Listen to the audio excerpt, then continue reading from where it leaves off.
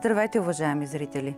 Световната пандемия от коронавирус COVID-19 постави на изпитание наука, медицина, економика, здравеопазни и финансови системи, лекари, пациенти, професионализъм и човещина. По Movie TV стартираме документалната рубрика «Армия в бяло». Откровени и емоционални разкази от първо лице на хората, които застават очи в очи с коронавирус пандемията – с огромен респект и благодарност към съвременните герои, изправени пред непознат, невидим и много жесток враг. Ще ви представяме история от цял свят за себеотрицание, саможертва и огромно човеколюбие.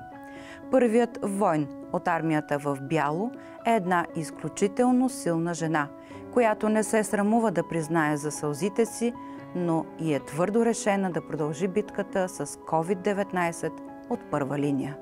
Свилена Панова е на 47 години, живее в Италия.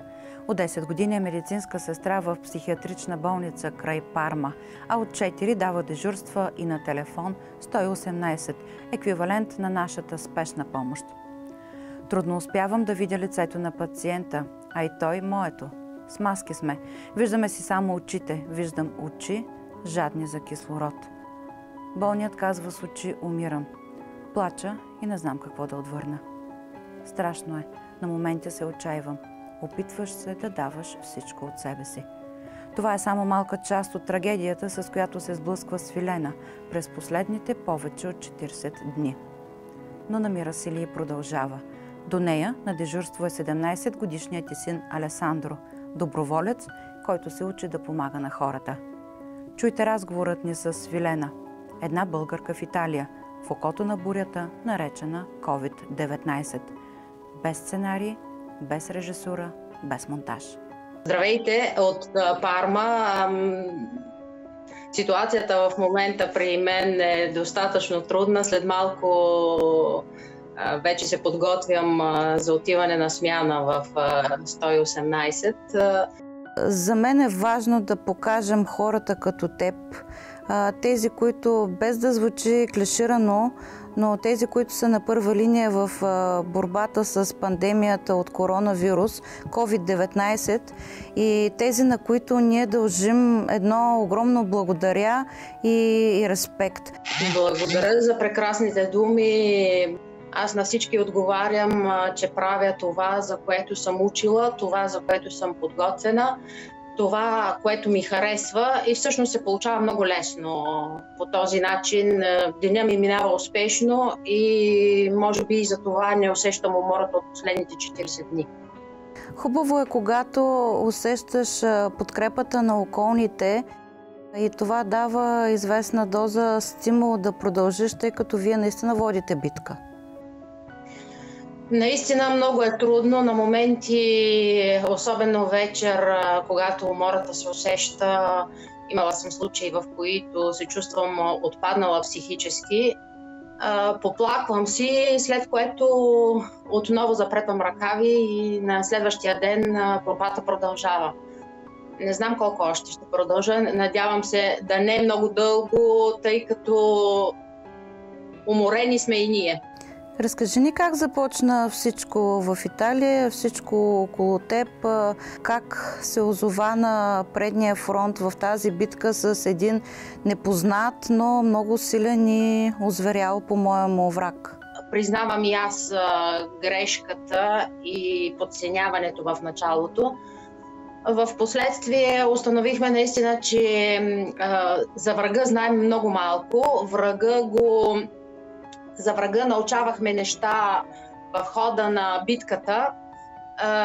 Започна се от това, че вируса издържа не повече от 15 минути на повърхности и лесно се унищожава с 70% спирт или 0,5% хлоров разтвор или така наречената белина след което се стигна дори до 9 часа върху повърхности от метал и пластмаса. Започнахме с най-обикновените хирургически маски, с които работихме включително и на първа линия.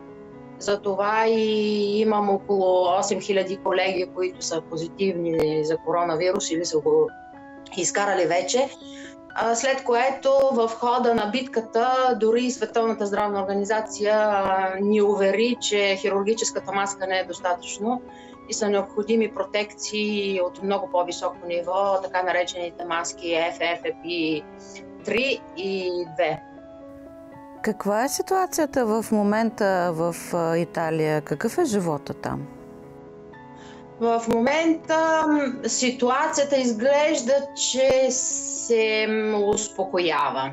Успокоява, защото през последните 2-3 дни всъщност цифрите, които ни съобщават според статистиката и на заболелите, и на оздравелите, и на излезлите от интензивно отделения, и на смъртните случаи, започнаха цифрите да намаляват драстично. Вероятно това са резултатите, които така дълго очаквахме от двете седмици карантина. В същото време това успокояване обаче предизвиква и един друг момент хората успокоени започнаха да излизат и да не спазват необходимостта от карантина. Виждам много повече автомобили по улиците, виждам много повече хора и в супермаркетите. Това до някъде ме плаши, тъй като ако не продължаваме да спазваме стриктно нормите, които са и изискванията и ограниченията, има опасност да цифрите отново да се, се променят и да се насочим към един нов пик. Смяташ ли, че мерките, които се взеха в Италия, бяха адекватни и навременни?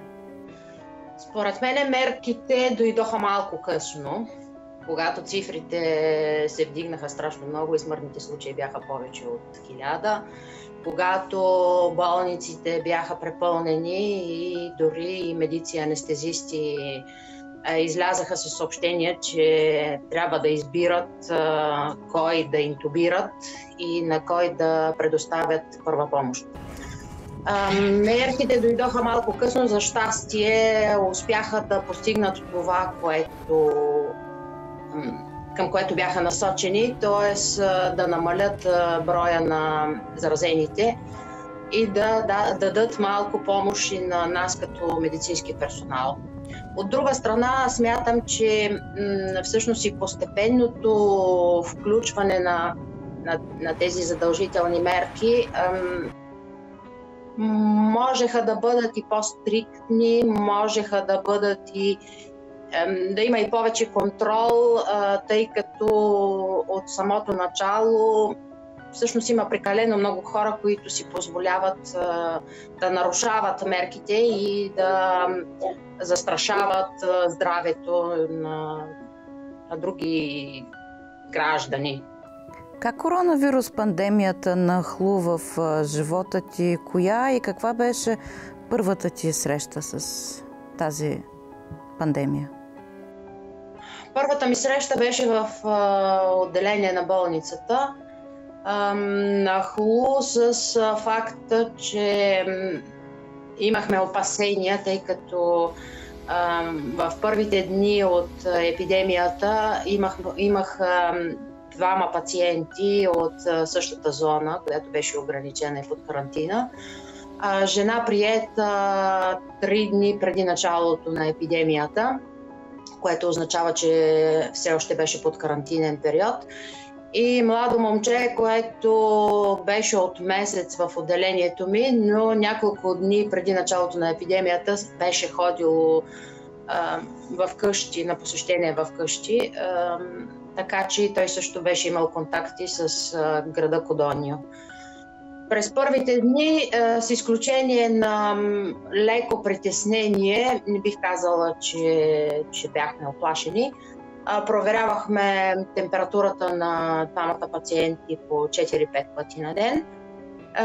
На втория ден си спомням, че се случи точно на мен с момчето вечерта температурата му беше 37,5, при което бяхме леко притеснени с колежката на смяна и комуникирахме данните на лекаря, който даваше дежурства. При което лекаря ни успокои, все още не, нямаше такава информация за епидемията, все още се смяташе, че е най-обикновен грип. Ни успокои с усмивка, казвайки, че няма нужда дори от парацетамол. Разкажи ни как преминава един твой ден, когато си на дежурство в 118? Моите дежурства са свързани с точно с спешната помощ. На практика съм изкарала курс за, за спешна помощ. В същото време съм изкарала курси за автомобилен водач на, на линейка. Аз през периода на епидемията предпочитам да давам бърза помощ. Тоест, аз съм човека в екипажа, който който с всичките необходими средства, обличайки се, се среща с COVID-19. Какво е усещането, когато пред тебе стои човек, който има нужда от въздух? Страшно е, тъй като в момента през последните 40 дни свикнахме да не виждаме лицето, да не виждаме мимиката на никой около нас. Всъщност виждаме само очите. Очите говорят страшно много, когато липсва въздух е ужасно. Виждаш ужаса в очите на човек, който не успява да го изрази по никакъв друг начин, тъй като дори не може да ти говори, понеже няма кислород. Каква е твоята реакция в такъв момент? Опитвам се да съм близка в този момент на пациента и емпатична, в смисъл държиш го за ръката, потупваш го по рамото, показваш му дори без думи, че си до него и че се опитваш по всякакъв начин да му помогнеш. До момента срещна ли се с а, смъртта, причинена от COVID-19? Срещнах се. Имам пациент от отделението, починал миналата седмица. Имам а, двама много близки приятели, които работеха с мен в спешна помощ, а, починали от COVID-19. А, имам други, които и в момента са болни, с които се чуваме всеки дневно, за да, за да имаме информация какво е тяхното състояние. За жалост, както се усмихваме и с колеги, COVID-19 е един много демократичен вирус. В смисъл, в началото всички казваха, че се заболяват само възрастните хора с предразположени от предишни заболявания. Всъщност не е така. А, видях а, и чух да умират млади хора.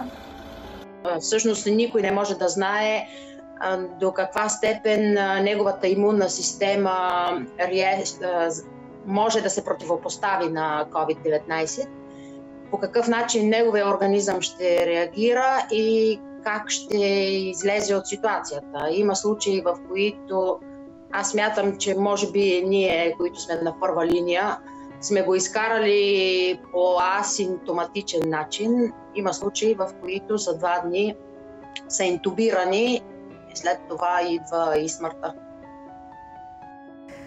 Свелена, как вие хората от първа линия преживявате ситуацията от чисто човешки план? До къде вашето съзнание може да издържи на толкова съдби да минат през вас? Трудно е, когато ти се обадят по телефона и получиш съобщението за смърт на някой близък приятел. Трудно е в този момент дори да не прегърнеш приятеля, който се намира до теб и да плачете заедно. Трудно е, когато откъсваш бащи или майки от семейства и трябва да ги натовариш в линейката защото през последните дни, знаейки как тези, които са приети в болница от, с COVID-19, умират сами или са в изолация поне 40 дни, виждаш сърцераздирателни сцени, виждаш плач от страна на възрастни синове и дъщери, виждаш сълзи в възрастни хора или не толкова възрастни, които в този случай са пациенти и са положителни с COVID-19. Трудно е, много е трудно. Имало ли е моменти, в които си искала да се откажеш и какво те кара да продължиш? До сега такъв момент не е имало да е, да е имало да, да се откажа. Дори напротив, трудно е. Има моменти, в които отчаяна съм била. Плакала съм за човешки съдби около мен. Но, както казах, подготвена съм за това, не ме е страх. Запретвам ръкави и продължавам да се боря. Адмирация към силата на твоя дух и към твоята професионална отговорност, но твоите близки как преживяват случващото се? Сина ми, който е на 17 години, всъщност подаде запитване дали може да участва в спешна помощ като мен. Все още не е изкарал подготвителния курс, тъй като е малолетен, но започна да кара смени когато му трябва повече медицинска информация, задава въпроси и ми вярва абсолютно. Очаква да дойде момента, в който да бъдем в един екип в линейката. Промени ли се нещо в теб през последните два месеца? Може би съм по-духовита, не знам. По-уморена със сигурност. Смяташ ли, че по някакъв начин ще се промени света след като излезем от тази световна криза? Според мен света ще се промени много. Първото, което е, ще продължим поне за, аз казвам, дълъг период от време да носим маски хирургически. А, поне когато сме навън.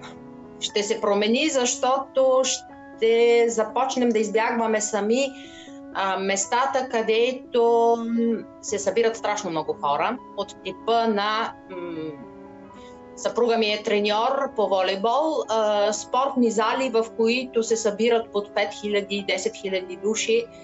Не знам дали ще стоим съвсем спокойно, смятайки, че големия бум в Бергамо на позитивни случаи с COVID-19 е свързан точно с футболния матч между Аталанта и Валенсия. Ще започнем да избягваме големите концерти, където също се събират страшно много хора ще започнем да избираме добре местата, където да пътуваме. Мисля, че това го правехме и преди. От гледна точка не само на терористични акции, но и от гледна точка на заболявания, които бихме искали да избягваме. Смяташ ли, че природата си отмъщава на човечеството или това е игра на тронове? че природата си отмъщава, не съм поддръжничка нито на идеите на Грета, нито на идеите на тези организации, които са абсолютно защит, природозащитници. Страдах с Австралия по време на пожарите. Страдам и сега, когато виждам хората по какъв начин дори по улиците си изхвърлят винилените ръкавици или хирургическите маски. Но не съм природозащитник и не смятам, че природата се е уморила от нас и заради това се опитва да си го върне по някакъв начин.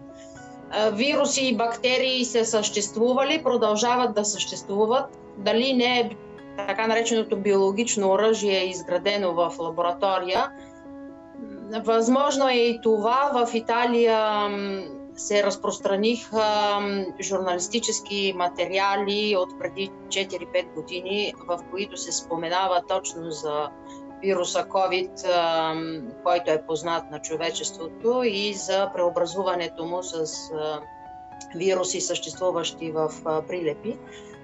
Не знам колко е вярно, възможно е и това. В крайна сметка, ако е истина, човечеството само се обръща срещу себе си. Създаваме оръжия, които след това не можем да контролираме. Рано или късно и тази пандемия ще премине.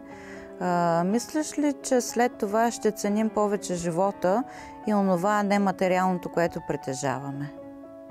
Искрено се надявам, тъй като през тези 40 дни установихме колко ни липсва прегръдката на близък приятел или като се видим с някой приятел, поздрава трябва да бъде съвсем различен, дори не е и обичайната прегръдка или ръкостискане.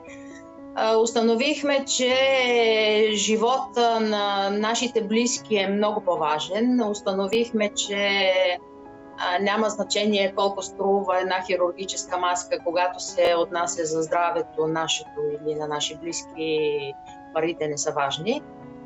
Установихме, че трябва да се спазват сурови правила, дори и това да не ни харесва, дори и това на моменти да, да пречи или да, да влиза, т.е. по някакъв начин да, да пречи на нашата лична свобода.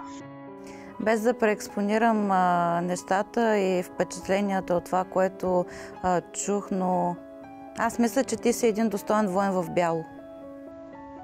Не бих искала да се чувствам герой. Достоен войн, надявам се и надявам се наистина да правя това, което, за което съм подготвена и а, това, което мога. Надявам се да, да давам наистина моята помощ. Мисля на моменти, че правя достатъчно много за страната, в която живея. Горда съм с това. Понякога ми се струва малко-малко и дори имам нужда от подкрепата на моя син и на, на моя съпруг, които да ми напомнят наистина, че съм сред тези налудничавите, които се опитват да се борят понякога дори с вятърни мелници или с вируси, които а, като COVID-19, които не се виждат. А, на мен ми харесва да бъда такава, каквато съм. Имам моите страхове, но се опитвам да ги преодолявам, за да мога наистина да бъда в помощ на тези, които в момента имат нужда.